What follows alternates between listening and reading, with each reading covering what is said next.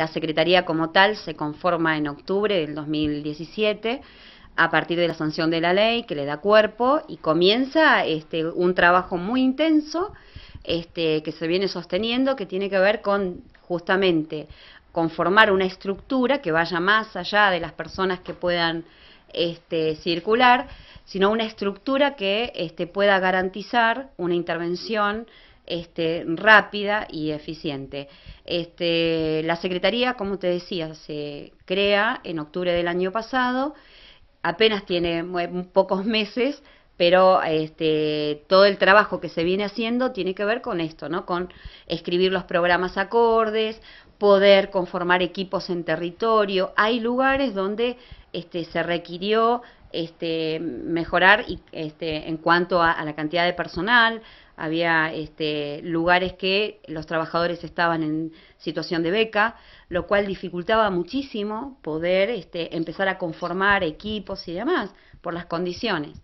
Este, eh, en enero pasaron, los primeros días de enero pasaron a contrato este, 130 trabajadores de SENAF en toda la provincia y en estos días este, terminamos ya este, de, terminar, de, finalizar este circuito administrativo donde van a ingresar 94 este, contratos más. Bien, ¿y de qué área serían estos contratos? Los contratos, nosotros vamos, este, el total de las personas que pasaron de becas a contrato trabajan en distintos este, programas y en distintos dispositivos que este, conforman la CENAF. La CENAF no tiene un único programa, la CENAF es muy amplia, actualmente este, conforma eh, este, o la contiene el programa de fortalecimiento familiar, el programa de fortalecimiento familiar, lo preventivo, ECOS, WECH, están distribuidos en distintos, en distintos lugares de la provincia con distintas conformaciones. Los hogares, los, este, los CAINAS, los CAINAS niños, adolescentes y demás, y tenemos este, algunos lugares socioeducativos que también conforman este cuerpo. Somos muchos, este, mucho personal la CENAF tiene, y esto implica redefinir. En estos cinco meses, este, creo que la conformación como secretaría es un paso gigante, muestra una decisión muy fuerte respecto a comenzar este, a definir cuestiones en torno a las políticas este, públicas referentes a la niñez, a la adolescencia y familia, tomando lo que se venía haciendo, que ha sido sumamente importante, pero el impacto que tiene a nivel nacional la creación de una secretaría este, es muy importante. Quizás nosotros no logramos hoy este, tener el alcance de lo que implica como provincia tener una CENAF con este rango ministerial para poder pensar, este, trabajar e implementar las políticas de niñez, adolescencia y familia. Esto no se hace de un día para el otro, requiere tiempo, requiere mesas de trabajo, requiere de mucho trabajo unificarnos para poder construir una identidad como CENAF que nos permita mejorar este, e ir instalando nuevos programas y nuevos acompañamientos que se requieren. Roxana, sin duda es un avance muy importante para la provincia de Río Negro y como vos nos mencionabas, eh, se está complejizando más el rol social para las instituciones también, ¿no? Como que año a año tenemos más complejidades sociales. Lamentablemente, este, va, hay un aumento y, y, las situaciones se van complejizando. Por eso la CENAF no puede funcionar sola el, concepto de corresponsabilidad para poder abordar integralmente es fundamental. Sí, es necesaria este, la CENAF, pero también es necesario el trabajo conjunto que podemos hacer con otros organismos para hacer un abordaje integral. Yo creo que Bolsón tiene un gran avance, destaco el trabajo que se viene haciendo en la comunidad del Bolsón respecto a las mesas, ya hay mucho trabajo hecho, hay un andar respecto a esto que pongo en valor, porque eh, no podemos pensar en esta comunidad una intervención si no es desde el orden de lo comunitario, y eso es un avance enorme. Eh, en otras localidades se requiere más acompañamiento, se requiere instalar estas mesas, poder instalar esta corresponsabilidad con otros, porque no es algo que viene desde hace mucho tiempo. Cada realidad este, implica pensar en un abordaje teniendo la lectura de lo que ocurre en cada una de las localidades. ¿no? Eh, esta mañana hablaba con otro medio y les, decía, eh, llevamos muy, poco tiempo, cinco meses este, no es mucho y es mucho, pero este, en algún aspecto. Trabajamos este, con muchas urgencias que requieren de este, abordajes rápidos.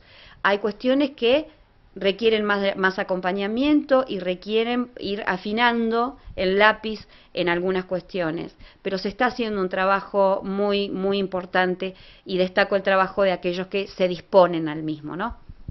Karina, bueno, ya hay un avance importante porque ya tienen cartelería. En el verano estábamos sin cartelería y la gente nos preguntaba dónde estaban. Exactamente. Bueno, es un proceso. Eh, y en este proceso que, como describía Roxana, lleva apenas cinco meses, nosotros como, como equipo que venimos recorriendo desde hace unos años y atravesando distintas gestiones, lo primero que, que realmente ponemos en valor eh, desde la gestión de Roxana es, en principio esto es la primera vez que el canal viene y me ven sentada al lado de la persona a cargo de esta forma, ¿no? Como, como tan claramente de construcción conjunta. Eh, el hecho de que de entrada se haya llamado a los equipos a reuniones provinciales, hacer un proceso donde repensarnos, donde tomar identidad, donde profundizar especificidad del área, eh, para nosotros tiene un valor inmenso. Entonces, si tenemos que esperar un ratito más para tener las dos oficinas abajo, eh, lo vamos a esperar con te diría que con una postura optimista. Eh, vos, Romy, y a través tuyo la comunidad sabe lo difícil que era la situación de las becas, lo difícil que, era la situación en muchos momentos de, los fondos, de no tener suficiente eh, personal para poder llevar adelante lo que la comunidad nos pide a las instituciones y al Estado. Eh, y a su vez em, hacerlo como nosotros tenemos la expectativa de hacerlo. No, no nos gusta hacerlo de cualquier manera. Nos gusta hacerlo con ese plus de estar sentados con, con las otras instituciones, con diferentes áreas de la comunidad, a la mañana, a la tarde, cuando sea necesario. Eh, entonces, haber dado esos pasos en relación a, a, la valoración de, de, los equipos técnicos en, tanto necesidad que urge, eh, como respuesta para las familias, para la comunidad, eh, es, eh, y, la eliminación de las becas como situación que habla de eh, posicionamiento de área. ¿Se entiende? Como decisión de política pública. Tener la beca como, como herramienta de contratación que no es tal, eh, pone al área en un lugar muy, muy bajo en, valoración de decisión política. ¿Se entiende lo que quiero decir? Entonces, para nosotros esos dos pasos, eh, tener, haber estado en esa reunión en Bariloche el otro día con, con Roxana, eh, coordinando la reunión como una técnica más, esto es inédito. Entonces, si le vamos a tener que bancar eh, un tiempo más para, para tener aquellas cuestiones que son necesarias, ¿eh? no estoy diciendo que no lo sean, pero entendemos las cosas como proceso.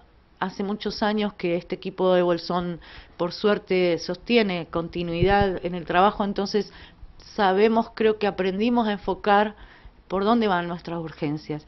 Sí, necesitamos las cosas edilicias que necesitamos, por supuesto, pero hasta el momento estamos acompañando y celebrando eh, este proceso eh, que está, que está eh, encabezando Roxana. Sí, Roxana, realmente ha sido un cambio cualitativo y cualitativo, ¿no? Para, para la provincia y para todos los trabajadores del área, porque realmente sabemos que ellos muchas veces se sentían huérfanos de la provincia, ¿no? De cuál era el rol de la institución y cómo, cómo trabajar con, con los jefes, con las secretarías, ¿no? Que es muy importante.